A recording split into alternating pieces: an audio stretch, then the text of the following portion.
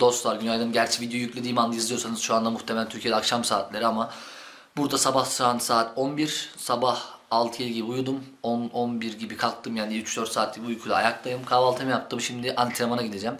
Antrenmanda bugün video çekmeyeceğim. Soyunma odasına bırakmayı düşünüyorum. Yani telefonu bırakıp hakikaten antrenman hakkını vereceğim. Telefon olduğu zaman işte video çekeyim, şey yapayım derken çok vakit kaybediyorum. Bu sefer video çekmeyeceğim.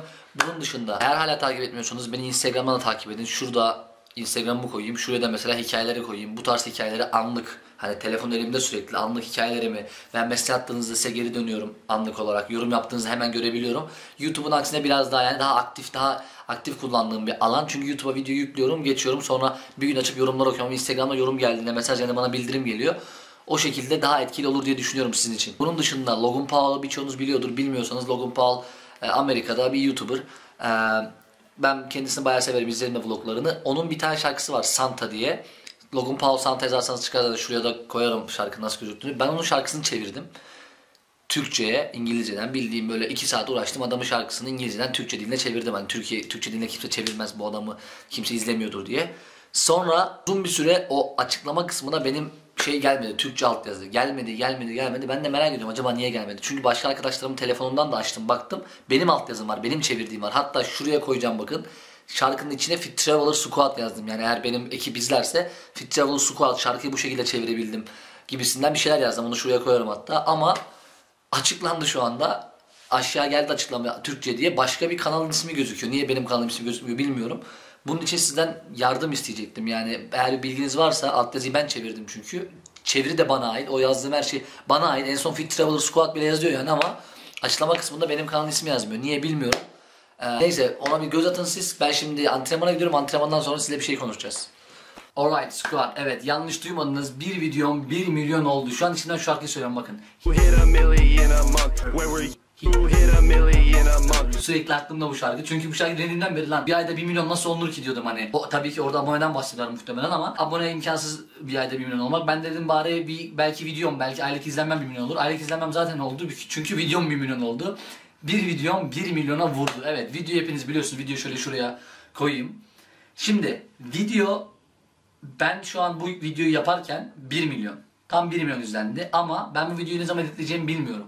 Eğer ben videoyu biraz geç editlersem diğer videolardan, İngilizce videolarından, gece hayatı videolarından vakit kalmazsa o video artık ne kadar izlenmişse o zaman fotoğrafını alıp buraya koyacağım için 1 milyondan fazla olmuş olabilir. Belki 1 milyon 30 bin, belki 1 milyon 40 bin, belki 1 milyon bla bla. Bu seslerden nasıl oluyorsun bunu kapatmam lazım. Şimdi gönül isterdi ki, gönül isterdi ki şu şurada şu görmüş olduğunuz YYY İngilizce öğren isimli abonelerim sadece 6 bin 7 binken yüklediğim ve 20 bin şu an 20 bin olan binden fazla 1500'e yakın like alan bu videom 1 milyon olsa da insanlar İngilizce öğrense ama maalesef bu olmadı ve bir gece hayatı videosu, bir ev partisi videosu 1 milyon oldu. Bana şimdi şey diyenler var işte. Erasmus'a git, gitmişsin sürekli gece hayat çekiyorsun işte or- onlar üzerinden prim yapıyorsun kızların üzerinden işte ortamlar üzerinden ahlaksız şeyler paylaşıyorsun gibi diyenler var. Onlara cevabım şu. Dostum ben tam 4 ay boyunca Haziran, Temmuz, Ağustos, Eylül tam 4 ay boyunca aralıksız hiçbir kızın olmadığı, bak hiçbir kızın olmadığı dümdüz saf bilgi veren videolar yaptım. Saf bilgi. Saf bilgi. Böyle bilgi aktardım. Work and travel nedir? Nasıl yapılır? Zorluklar nelerdir? Hatta şöyle video yaptım. Görmüş olduğunuz video çok tepki aldı. Work and travel dolandırıcılığı ile ilgili. Millet işte work and travel eziyet, burada kölelik gibi çalışıyoruz falan filan diyordu o zamanlar. O videoyu bir yaptım. O zaman zaten e, millet videolarımı görmeye başladı. Çünkü work and travel modern kölelik falan değil. Evet zor bir program. Çalışma programı zaten. İsmi Work and Travel. Neyse. Tekrar söyleyeyim. Kanalda bakabilirsiniz. 4 ay aralıksız ben video yükledim. 4 ay. Work and Travel şöyle. Amerika'da ev fiyatları, Amerika'da araba fiyatları, Amerika'da sebze meyve fiyatları. Sırf bilgi veriyorum böyle. Sırf. Hiç boş konuşma yok, hiç kadın yok, kız yok, hiç böyle gece hayatı yok, ortamlar hiçbir şey yok. Sadece bunlar 4 ayın sonunda elime ne geçti? Elimize ne geçti? Tombul tasla. Evet elime sadece 1000 abone ve hiç izlenmeyen videolar geçti. Şimdi benim derdim ne? Benim videolarım izlensin, benim insanlar tanısın, benim videolarımı insanlar görsün ki Work and Travel yapsın, Erasmus yapsın. Bakın bir nesil Work and Travel'dan habersiz şu an. Adam bana mesaj ediyor ki Work and Travel hangi ülkede oluyor abi? Adam bana mesaj ediyor mesela Work and Travel'a gideceğim ee, lise lise 3'üm olur mu? Bilmiyoruz çünkü. Work and Travel nedir, nasıl yapılır bilmiyoruz. Erasmus da öyle. Birçok kişi yorum yapıyor benim fotoğraflarıma, videolarıma, Instagram'dan mesaj atıyor. Kardeşim Work and Travel hakkında hiç bilgim yoktu. Senin sayende öğrendim. Diyor ki videona denk geldim. Diyorum videoma nasıl denk geldin? Ya işte gece hayatı videosundan. Çünkü bunlar izleniyor. Velhasıl kelam 4 ayın sonunda ben saf bilgiyi verdim verdim verdim. Baktım izlenmiyor. Dedim ya artık yapmayacağım artık yani bu, bu YouTube işi yapmayacağım. YouTube'a video yüklemeyeceğim. Pes etmek gibi algılanmasın. Belki de başka bir şeyde başka bir alana yeteneğim var. Enerjimi ona sarf ederim. Belki Twitter, belki Instagram, belki başka bir şey bilmiyorum. Ona sarf edeyim dedim.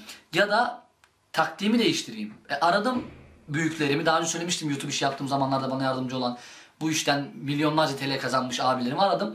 Dedim abi böyle böyle bir durum var. Olmuyor dedim yani Türk YouTube'unun çaresi nedir? Adam dedi kardeşim sen niye saf insanlara pure bilgi veriyorsun ki dedi. Ya sen dedi çok güzel bir iş yapıyorsun. Work and Travel senin dediğin gibi hayat değiştiren bir program dedi. Work and Travel müthiş bir program. Hakikaten benim hayatımı değiştirdi. Ben Work and Travel'a gittim. Work and Travel'a gittiğim için İngilizce öğrendim. Work and Travel'a gittiğim için 8-10 bin dolar para kazandım. Work and Travel'a gittiğim için geldiğimde hem araba aldım hem motosiklet aldım. Work and Travel'a gittiğim için Erasmus sınavında barajı geçemezken fakülte birincisi oldum. Bakın fakülte birincisi. 2000 euro para kazandım Work and Travel sayesinde e, Avrupa Komitesi'nden yani Anadolu Üniversitesi aracılığıyla hibe kazandım. Work and Travel'a gittiğim için ben ikinci sene Work and Travel'a gittiğimde garson olabildim. Ve şu an buradayım. Work and Travel'a gittiğim için şu an İngilizce konuşabiliyorum. İspanyolca derdimi anlatabiliyorum. Bunların hepsi sırf Work and Travel'a gittiğim için. Ayrıca ya Work and Travel'a gittiğim için ben Balkanları gezdim. Work and Travel'a gittiğim için ben Ukrayna'yı gezdim. Onlar aldığım paralarla oralarda travel yaptım. Yani kısaca Work and Travel benim hayatımı değiştirdi. Ben bu bilgileri veriyordum. Abi de bana dedi kardeşim bunlarla uğraşma. Sen şimdilik bunları haftada bir yap bu videoları. Sen dedi işte ortam videosu at dedi.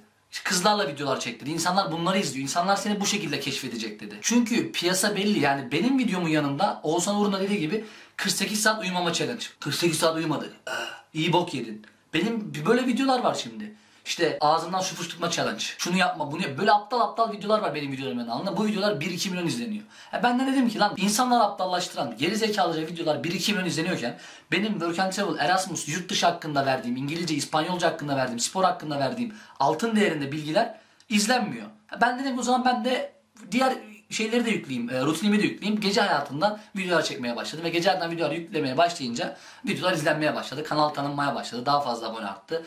Ama hala da amacım şudur yani bu videolarla evet abone kasarım. Bu videolarla izlenim alırım. Ama amacım benim insanlar Work and Travel, Erasmus'u bilsin, yurt dışını bilsin, İngilizce, İspanyolca öğrensin, Türk genci Avrupa'da, dünyada ilerlesin. Benim tek derdim bu. Ayrıyeten benim gece hayatı videolarımın özelliklerinden biri motive eder bir kere sizi. Birçok insan şimdi bana namus bekçiliği yapıyorlar. Geliyorlar işte ne motive edecek insanları ahlaksızlaştırıyorsun. Ya kardeşim ne alakası var? Erasmus'a giden herkesi, Erasmus'a giden herkesi bir tutun, bir sorun Erasmus'a gidenlere. Deyin ki kardeşim sen Erasmus'a niye gittin? Erasmus nasıldı? Size kimse demeyecek ki ben okudum işte kültürel değişim aman İtalyan yemeklerini tattım, Rus yemeklerine baktım falan. Hayır kardeşim. Erasmus tamamen eğlence amaçlı tüm gençlerin en verimli çağlarında, en böyle ateşli, en böyle hareketli çağlarında bir araya geldiği evlerde sabahlara kadar partiler düzenledi, klaplara sabahlara kadar dans ettikleri bir ortam. Mesela ben Work and Travel yapmaya arkadaşlarımı ikna ediyorum. Diyorum ki İngilizce öğrendim. Aa, diyorum ki lan Amerika'yı gördüm, Miami'yi gördüm, Las Vegas'ı gördüm, şunu gördüm, bunu gördüm. Aa, Kanka işte kızlarla erkeklerle aynı şeyde kalıyorduk binada işte her gün bir ev partisi oldu falan. Oo kanka tamam ben de geliyorum. Yani Türk genci bu şekilde motive olursa ben ne yapayım? Adam böyle motive olursa ama buraya gösteriyorum. Adam yok abi görüyorum videolarını. İspanya'da kızlar çok güzel işte. Yanına gidiyorsun hemen selam veriyor. Hello how are you? Hemen böyle sarılıyor sana. Konuşuyor sohbet ediyor. Çok sıcak kanlı çok can yakın. Ben de Erasmus yapacağım abi. E ben bu şekilde belki adam Erasmus yaptıracağım. Yani bu benim videoların birinci faydası. De dediğim gibi bunlar teşvik ediyor. Erasmus'a, Work and Travel'a bunlar teşvik ediyor. Mesela bir yanı bu videolarım hepsi İngilizce. Ben size Eskişehir'de 222'ye gittim, Eskişehir'de Ballar Sokağı'ndan diye video atmıyorum ki. Bütün videoları İspanya'da çekiyorum. İspanya'da olan videoların ya İngilizce ya İspanyolca. Yani siz orada yabancı bir dil görüyorsunuz. Videoların %80 %90'ı İngilizce zaten. İngilizce konuşuyorum. Türkçe altyazı ekliyorum. Yani beni sanki bir dizi izliyormuş gibi izliyorsunuz arkadaşlar. Normal Amerikan dizisini açıp izlersin. Onun yerine beni izliyorsun. Ben oradaki adam İng- İngilizce konuşup Türkçe altyazı izliyorsun. Benimkinde ben İngilizce konuşuyorum. Beni de Türkçe altyazı izliyorsun. Bu kadar basit. Ve emin ol benimki dizilerden daha iyidir. Çünkü dizilerde adamlar ana dil İngilizce olduğu için kelimeleri yutarlar, yuvarlarlar. Ben öyle bir şey yapmam. When I speak English, I speak so clearly. Şu anda anlayabildiğiniz gibi mesela. Ama adamlar konuştuğunda mesela İspanyol birisi şey diyor. Nosotros podemos ir. Tamam mı? Bunu bir Türk söylediğinde ya da bir İtalyan söylediğinde nosotros podemos ir. Tamam anlıyorum. Adam böyle yapıyor. Ha, primero. Ne dedin lan sen?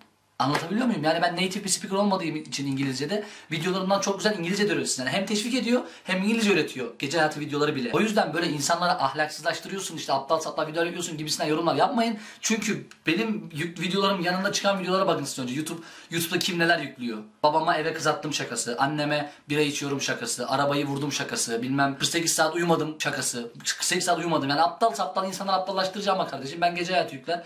Rutinimi gösterir. insanları e, Erasmus'a, Work and teşvik eder. Aynı zamanda İngilizce öğretirim. Yani dostlar videonun finaline gelecek olursak ben gece hayatı videolarıyla kanalımın dikkat çekmesini, insanlara beni bu videolarla keşfetmesini, bu videolarla keşfettikten sonra aa gece hayatına bakayım güzel bir çıkayım değil de gece hayatına bakayım ondan sonra geleyim abi İngilizce video izleyeyim İngilizce öğreneyim. Geleyim Work and Travel izleyeyim. Geleyim Erasmus izleyeyim değil. Erasmus Work Travel gibi e, mantıklı ve insanlara bilgi verdiğim videoları izleyip bu şekilde programlara katılmasını istiyorum. Kanalın amacı budur yani. Bu yüzden gece hayatı videoları devamı tabii ki gelecek. Şimdi instagram.com slash laptoplı gezgini takip etmeyi unutmayın. I'll see you guys all later.